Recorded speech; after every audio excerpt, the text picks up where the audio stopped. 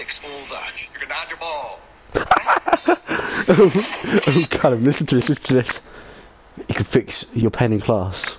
You can fix your pen in class. You can fix a Type 48 machine destroyer. I think it's genuinely like, oh, you can stick the wheels back on a skateboard.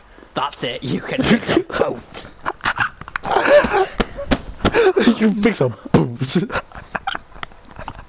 Man, man puts on one wheel on a skateboard. Right, that's it. I'm gonna go work for the Royal Navy fixing helicopters. I get out of bed, right, that's it, I'm good enough. The engine's broke. Alright, I need to use all my skills I've learned. so the wheel goes on there and there. And I saw it. man just took out the engine stuck on two wheels. That's cool. Man, stuck out the engine, put two wheels where the engine should be. And a skateboard.